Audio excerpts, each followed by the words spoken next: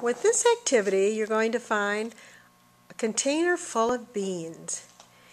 And hidden inside the beans, hidden inside the beans are buttons with tweezers.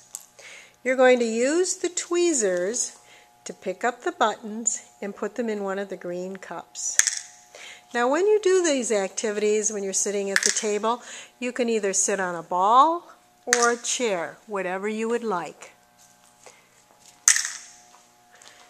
So, picking up a button with the tweezers and putting it in the cup. See how many you can get inside the cup.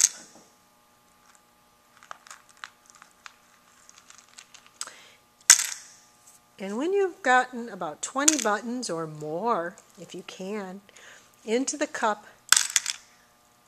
count, see how many you got, and then